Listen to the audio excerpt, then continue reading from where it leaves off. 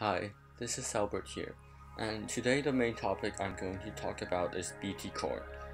So the main reason I chose this topic is because while I was preparing for the Geography Olympiad, I learned a lot about the pesticides and also about corn. So when I heard about this thing, I grew really interested in it, and I hope you'll understand what I'll be talking about.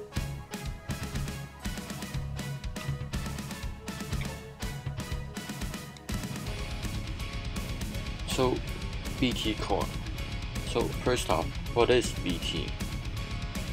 So Bacillus thuringiensis is a soil bacterium that produces a protein that kills lots of insects. It is really specific to certain insects and has been used as an organic insecticide since 1960s. And so what is Bt corn? Bt can easily be uh, washed off during big rains or could break down when exposed to UV light. So, in order to fix this problem, scientists genetically engineered some corns to produce the proteins from Bt genes so that the corn itself is an insecticide. And after it becomes Bt corn, toxic proteins are protected from UV light so they last longer. And they also continuously produce the protein so the effects are prolonged. And how is Bt corn produced? So the first step, DNA extraction. You take in a sample from the bacteria and get DNA.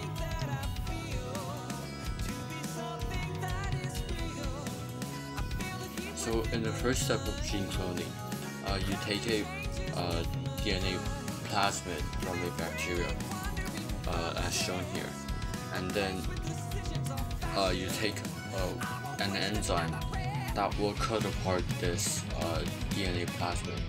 And I'll just use this scissors here to represent the enzyme because uh, like a scissor it cuts apart the plasmid. And then after cutting apart it, uh, you end up with this.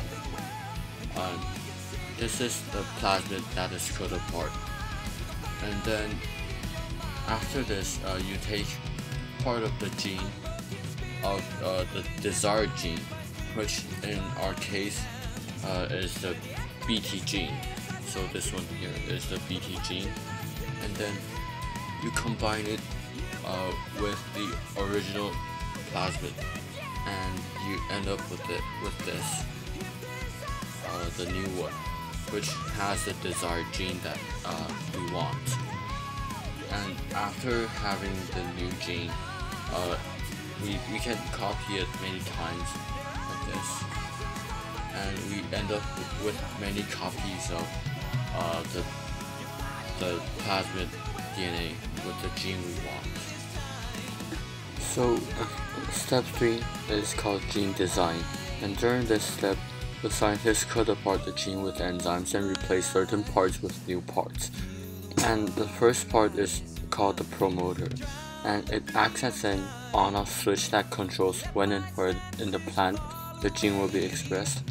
And the second one is marker gene, and it helps identify the plant cells that have the specific integration of the new gene. And the last part is called the termination sequence, and it basically tells that the sequence has ended. Step 4.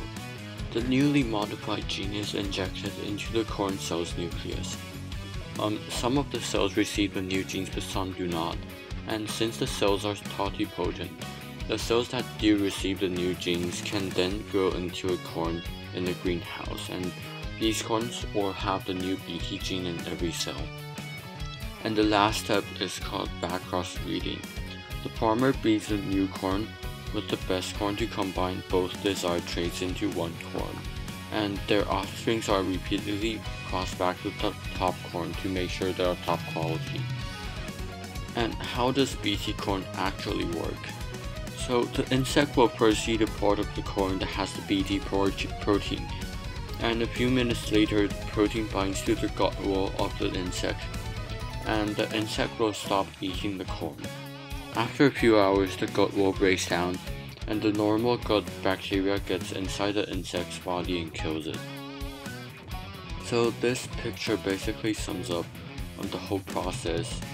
You see from the first one is a bacteria and it is transferred into the corn and then the European corn borer which is one of the insects will eat it and then uh, the bacteria will um, go into the insect and kill it.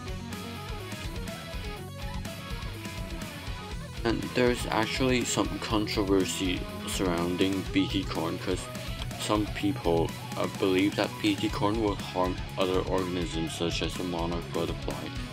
But the research from the US Environmental Protection Agency shows that it doesn't harm the monarch butterflies and um, since BT is only specific to certain insects, it does not harm other insects or animals, although some BT toxin is found in the blood serum of pregnant women and their fetuses, but um, there is no harm that we know of. So it is um, actually pretty safe for everyone else. And the pros and cons of BT corn. The pros are that um, BT corn can kill the insects and it doesn't harm other organisms in the process. And since uh, BT corn is more useful than BT pesticide, it can reduce the use of the pesticides and uh, it can help the environment and it also increases the farmer's income. But the cons are that um, since it has been used for a long time, some species are now resistant to BT corn and also growing too many BT corn can reduce the genetic diversity.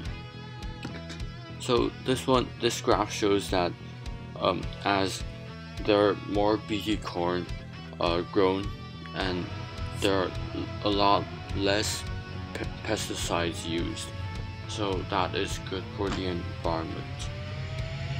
And uh, on the other hand, this graph shows that as more BT crops are grown, um, there are uh, more insect species that are becoming resistant, resistant to it. So, like maybe in a few years, uh, BT corn will be completely useless.